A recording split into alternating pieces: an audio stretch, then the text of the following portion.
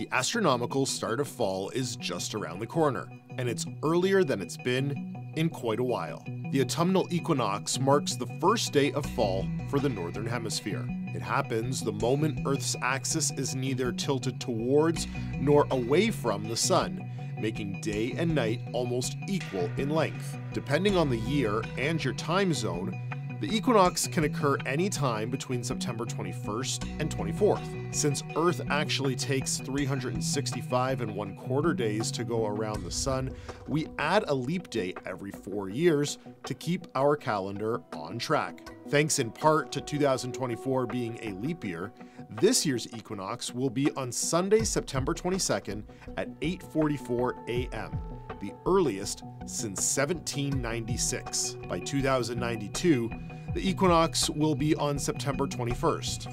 The last time it was on this date was 1000 CE.